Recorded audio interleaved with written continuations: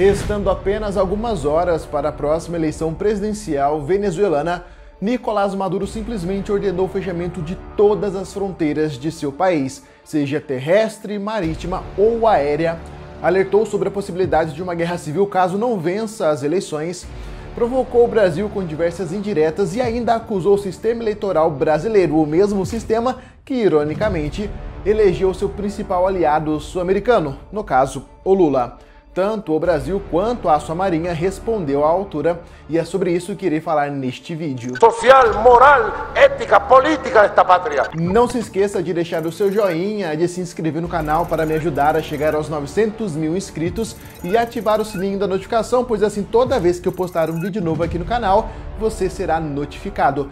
E não se esqueça que toda vez que você assiste ao vídeo até o minuto final, além de você aprender, contribuindo para o aumento de sua bagagem cultural, você ajuda a mostrar ao YouTube que o trabalho que eu desenvolvo com carinho para vocês aqui na plataforma tem relevância.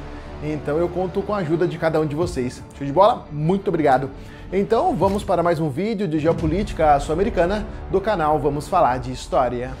A Venezuela anunciou um decreto fechando todas as suas fronteiras terrestres, aéreas e marítimas a partir da meia-noite da sexta-feira passada até as 8 da manhã da próxima segunda-feira, dia 29. A justificativa oficial é garantir a segurança e a integridade das eleições presidenciais previstas para o próximo domingo. Segundo o Ministério da Defesa venezuelano, a medida visa, abre aspas, resguardar a inviolabilidade das fronteiras e prevenir atividades de pessoas pessoas que possam representar ameaças à segurança da República Bolivariana da Venezuela por ocasião da eleição presidencial do próximo dia 28 de julho de 2024. A iniciativa do líder venezuelano Nicolás Maduro é mais um elemento de preocupação para a comunidade internacional. Há suspeitas de que o processo eleitoral não seja transparente e de que Nicolás Maduro, no poder desde 2012, não cederá a cadeira presidencial em caso de derrota nas urnas. Imagens transmitidas, estas que vocês estão vendo agora no vídeo, mostram militares venezuelanos se posicionando na fronteira com o Brasil, acentuando assim o isolamento da Venezuela. Além disso, Nicolás Maduro fez provocações ao Brasil de forma indireta,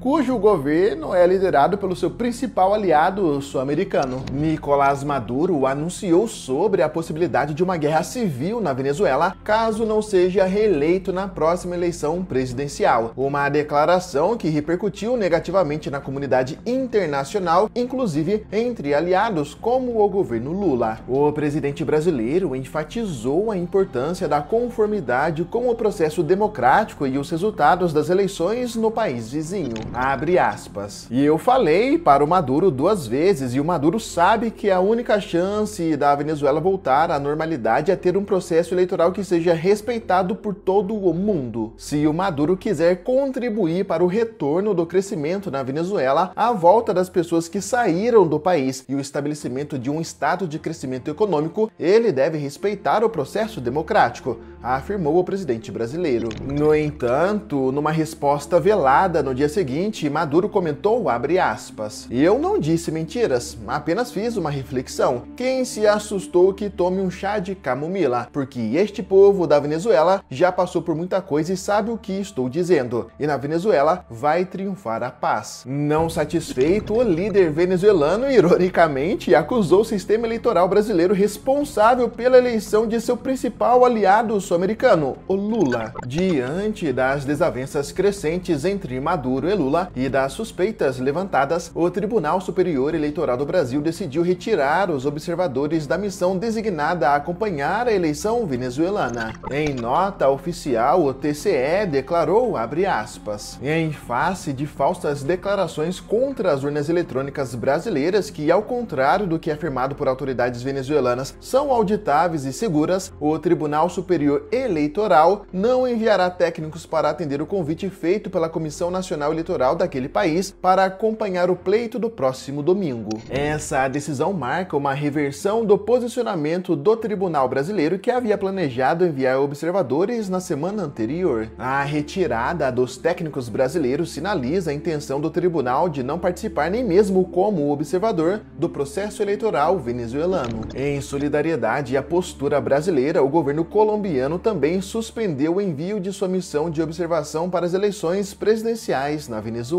E para piorar ainda mais a situação, o presidente do Panamá, José Raul, declarou nesta sexta-feira que um avião com ex-presidentes destinados a atuar como observadores eleitorais na Venezuela foi impedido de decolar devido a um bloqueio do espaço aéreo venezuelano. Além disso, outros observadores internacionais foram impedidos de entrar no país em função do fechamento das fronteiras. Em meio a todo esse caos geopolítico, em meio às tensões que estamos vivenciando na América do Sul, principalmente entre a Guiana e a Venezuela, a Marinha do Brasil, segundo a revista Sociedade Militar, declarou estar consciente das ameaças atuais. A Marinha do Brasil, por sua vez, mobilizou navios e aeronaves da esquadra na terceira fase da Operação Lançamento de Armas de 2024. Durante o exercício militar realizado entre os dias 20 e 23 de julho, a Força Naval utilizou armamento real contra alvos de superfície e aéreos. Segundo a própria Marinha do Brasil, o principal objetivo do exercício foi empregar mísseis de superfície A-ASPIDE contra alvos simulando veículos de superfície não tripulados e caças AF-1 engajados contra alvos simulando veículos aéreos não tripulados. Essas missões visam avaliar a capacidade da Força Naval de Defesa da Amazônia Azul contra novas ameaças, além de aprimorar o treinamento das tripulações e a eficácia dos sistemas de armas a bordo dos navios. E para essa operação, a Marinha do Brasil mobilizou as fragatas Defensora, Constituição e Liberal, além de dois caças de combate AF-1 Skyhawk e um helicóptero H-11B Super Lynx. Caetano Caia Silveira, capitão de mar e guerra e comandante do grupo tarefa responsável pela operação, destacou a importância do exercício. Abre aspas. Essas oportunidades de emprego de armamento real são a demonstração prática de que a Marinha e seus navios e aeronaves estão prontos para a defesa dos nossos interesses. Estamos conscientes das novas ameaças observadas nos conflitos atuais, bem como a importância de cada exercício no desenvolvimento de capacidades e doutrinas de emprego de nossos armamentos em contraposição a elas. A grande questão é quem será que irá vencer as eleições democráticas da Venezuela.